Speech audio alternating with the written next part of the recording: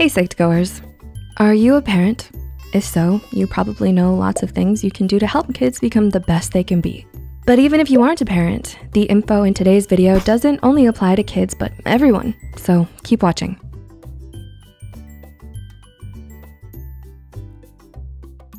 No one is born knowing how to be a parent, and parenting can be difficult sometimes.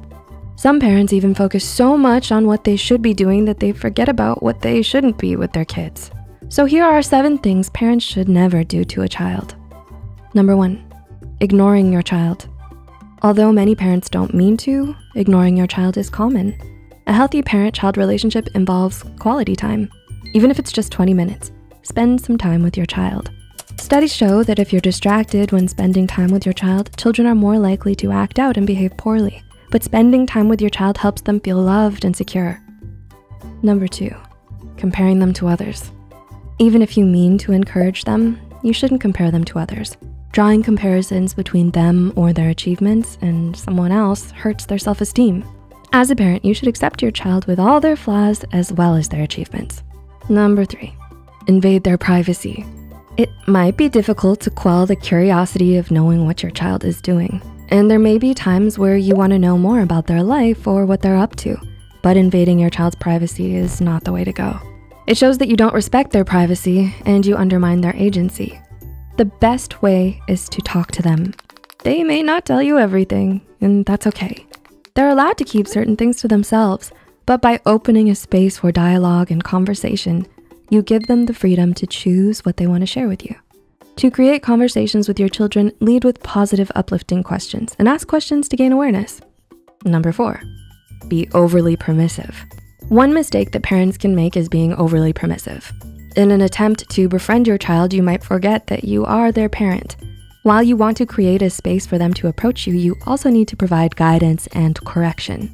Letting your child do anything they want is not okay.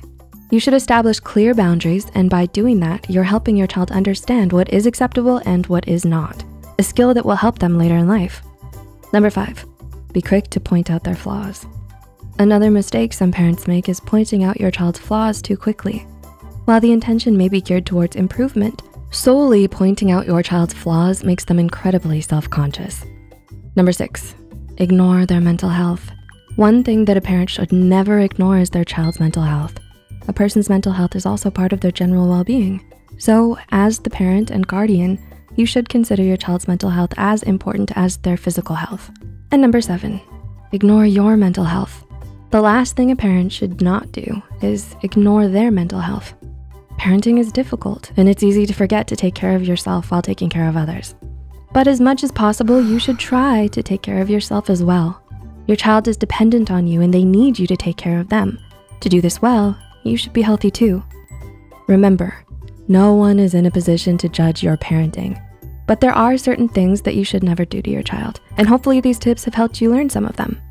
Can you relate to any of these points? If so, let us know in the comments. And please remember to like and share this video with people who might find it helpful.